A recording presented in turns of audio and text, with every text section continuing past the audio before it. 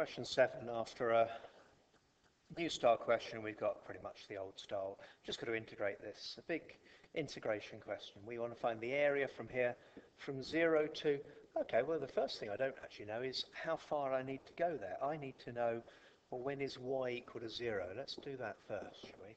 When does zero equal 2e to the 2x minus x e to the 2x? So let's factorize out the e to the 2x there. Um, of course, this never equals 0, so we can see that we're going from x equals 2. So we get a couple of a mark there just for knowing that we need to go from 0 to 2.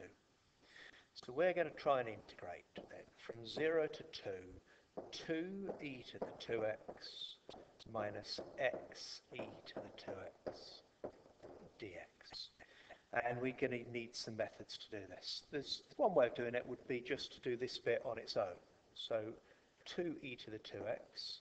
The e's stay the same, but I divide by the 2, and I'm going between 0 and 2 there. So that will give me e to the 4, take away e to the 0. So that bit there is e to the 4, take away 1.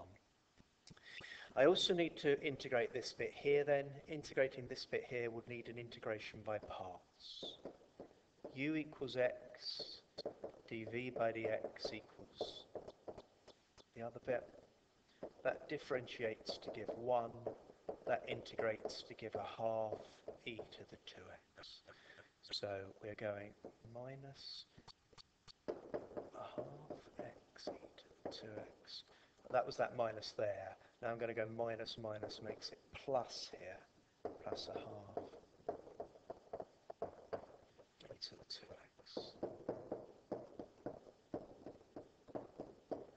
So I've got a quarter e to the 2x.